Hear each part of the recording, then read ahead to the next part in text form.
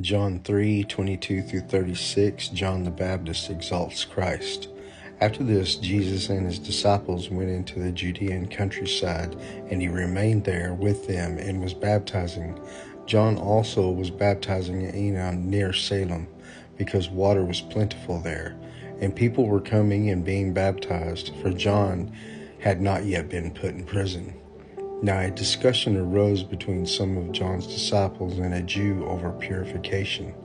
And they came to John and said to him, Rabbi, he who was with you across the Jordan, to whom you bore witness, look, he is baptizing, and all are going to him. John answered, A person cannot receive even one thing unless it is given him from heaven. You yourselves bear me witness that I said, I am not the Christ but I have seen been sent before him. The one who has the bride is the bridegroom. The friend of the bridegroom who stands and hears him rejoices greatly at the bridegroom's voice. Therefore, this joy of mine is now complete. He must increase, but I must decrease. He who comes from above is above all. He who is of the earth belongs to the earth and speaks in an earthly way. He who comes from heaven is above all.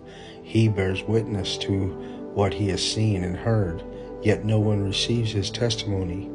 Whoever receives his testimonies sets his seal to this, that God is true. For he whom God has sent utters the words of God, for he gives the Spirit without measure. The Father loves the Son and has given all things into his hand. Whoever believes in the Son has eternal life. Whoever does not obey the Son shall not see life, but the wrath of God remains on him.